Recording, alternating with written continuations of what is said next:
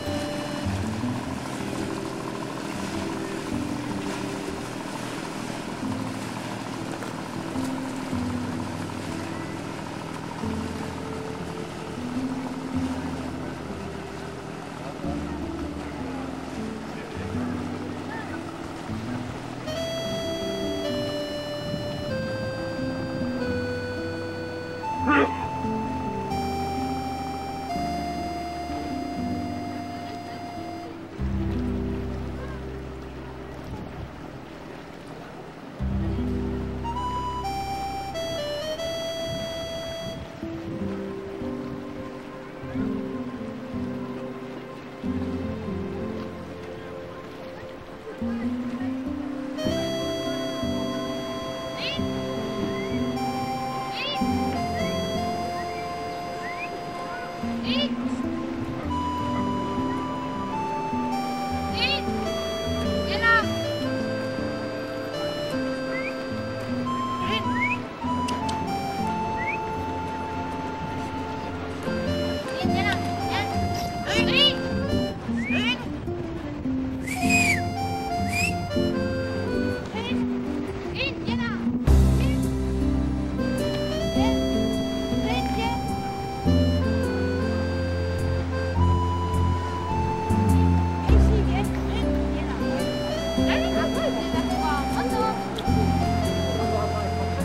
아,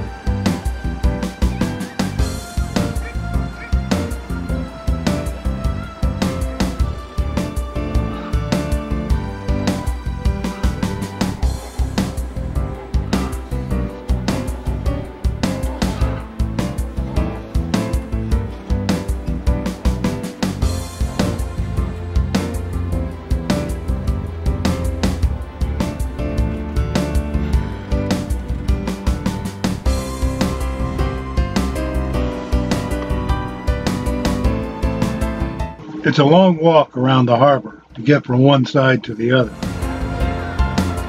Fortunately, there's an inexpensive ferry that cuts out more than half that distance.